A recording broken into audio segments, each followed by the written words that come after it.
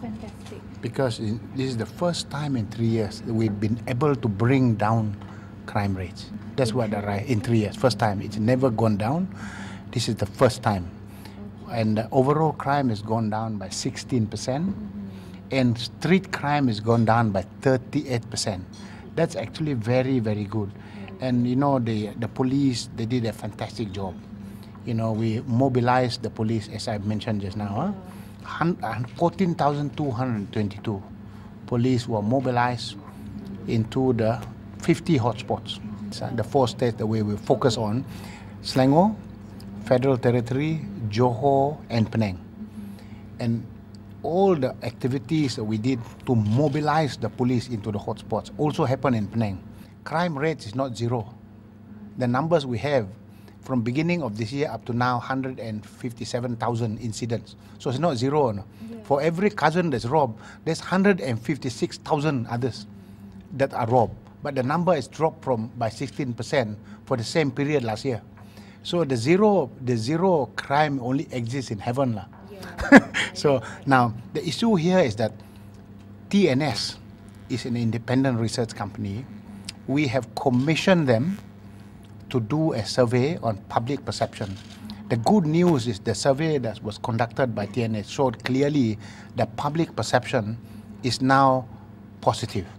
They're now beginning to feel the word about fear of failure, a fear of crime, fear of crime. So that has now dropped. So the fear of crime is dropped amongst the population. But you're right, but it, it will take time before the full public perception. There's always a lag, time lag between the, the drop in, in corruption, uh, in, in, in crime to the full public perception. It will take some time. But I would say today that I'm very happy with that progress so far. As I said, a lot of CCTVs we've installed, 496 CCTVs already installed. We rank every Balai police, the 753 Balai police rank. And I mentioned the number of police we redeployed, 7,091, you know, from the, uh, the police that were trained as police but used as clerks. We took them from being clerks and put them into the street. lah. To add in, uh, that's how we managed to get 14,222. This is a massive redeployment. You know, when we first started, there were people, there were skeptics. There were people that said maybe the way to do crime reduction is to send everybody for training. And uh, we kind of felt that the approach, it's better that we will focus on redeployment to the hotspots because we felt that was the way to do it. I think the uh, people must look at the facts. The facts are very clear.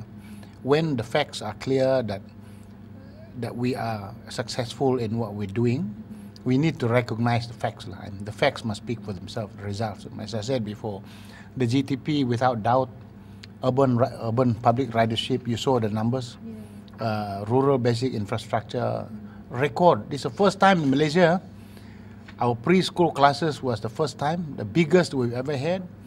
The longest kilometer road for rural is this year is the, the biggest, 666 kilometers of rural roads. The civil servants they, they need to be uploaded too, because these are the work of our civil servants.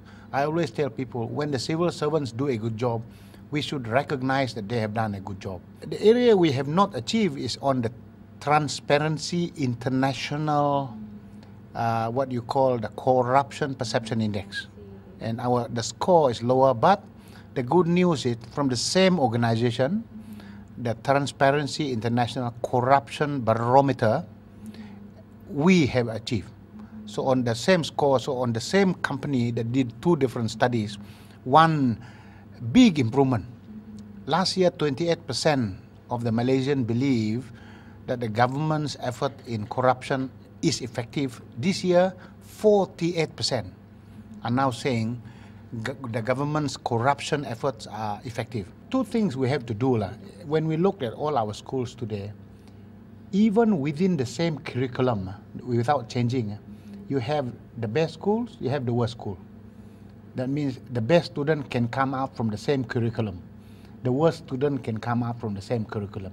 So even if you change the curriculum, you will also have the best students and the worst students from that changed curriculum. Now, Obviously, a lot of people were saying that perhaps we need to modify the curriculum so that it has a greater balance between academia and extracurricular activities. In fact, our own assessment of the schools, uh, you notice when we grade the schools, 70% of the weighting for the grading is from the academic qualification of the students. 30% of the grading for the school is on the extracurricular activities. So we're putting that kind of a balance. Lah. So we already began the shift. So if we say the school is high performing school, it is band one, and that's on the basis of the grades of the students, 70%, 30% on extracurricular activities. Uh. Our program today is that if we work on what, as I said today, all the program under urban public transport, GTP, uh, we will be able to achieve ridership of 25% by 2012. December 2012, that's our target. But from then on, it's going to be very difficult. But so our target is if we produce and put the MRT, the MRT will help us to jump into 50% by the year 2020 and even beyond lah. If the capacity will do by do that. So what we have to do and stay focused. Uh, we do the short term and medium term going forward. I forgot to mention uh, actually buses. The bus stops. Complaint from the Rakyat is we don't have proper bus stops. That's why we have now refurbished the numbers that I had just now, the number of bus stops. We have now refurbished them, new roof, etc. The numbers are all there. In fact, uh, next year we'll do more of that. The bus terminal also we have a new bus terminal. So all of these things we have focus on lah. The Bandar Tasik Satan Selatan terminal, bus terminal, will be going live in January next year. It's very, very good. I cannot talk about election. I only, I only talk about what we promise, and uh, what we promise, and what we, we work towards delivering that because that's what Rakyat. So I am not a politician. So you think the promise has been delivered? Oh, more than delivered. I told you the facts already. The facts are very clear, more than delivered. And in our annual report, we will go blow by blow. Blow by blow. What specific. Very specific. Lah. Specific. Yeah. Uh, very, so that means if you look at our GTP and uh, return a specific example, lah, the target for this year on overall crime, reduction by 5%. 5%, uh, that's the target. What did we achieve? 16%. Yeah. Uh, for street crime, the target is 20% reduction. What did we achieve? 38%. That's what I mean blow by blow. Lah. Very specific. And so urban public transport, the target is 13% ridership. So we are finalizing that and we will announce the, the, the achievement. But it is more than 13, I can tell you this.